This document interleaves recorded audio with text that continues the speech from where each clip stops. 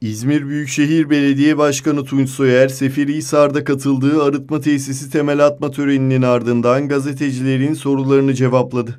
Soyer, İstanbul ve Ankara'dan gelen açıklamaların ardından ilk defa adaylık hakkındaki sorulara yanıt verdi. Cumhuriyet Halk Partisi 100 yıllık bir parti. Ben de onun Büyükşehir Belediye Başkanıyım. Yapacak çok şey var daha. Cumhuriyet Halk Partisi'nin tarihi birikimini hatırlatan Soyer, yapacak çok şey var diyerek genel merkezi işaret etti.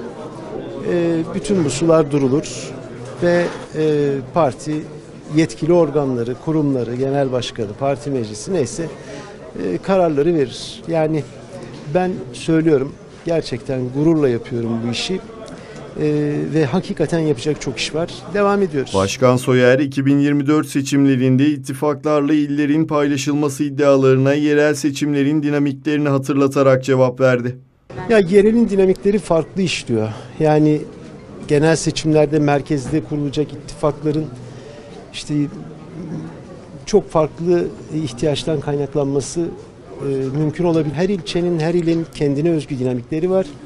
Ve o dinamikler çerçevesinde de her yerin kendi ittifaklarını oluşturması gibi bir mecburiyet var. Yani şimdi bir belediye başkan adayı o şehirde yaşayan herkesin oyuna taliptir.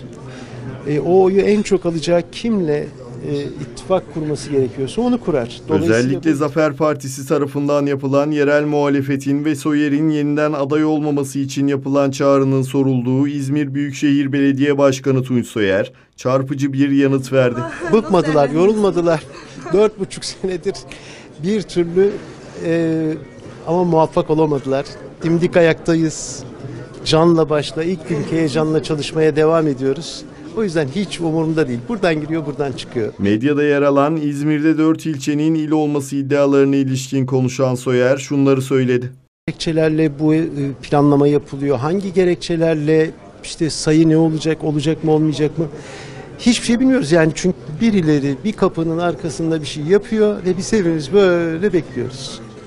Kimse kimseye akıl danışmak, fikir sormak, bunu tartışmak böyle bir şeye Soyer ayrıca gazetecilerin uzun süredir süregelen Harmandalı Atık Arıtma Tesisi'nin taşınması konusundaki sorusuna da yanıt verdi. İçin illa şurası olsun illa burası olsun gibi bir dert yok ki biz sadece mümkün olan en kısa sürede Harmandalı'yı boşaltmak ve onun yerine alternatif çöp depolama alanları yaratmak istiyoruz. Hepsi bu. Keşke Yamanlar olsa.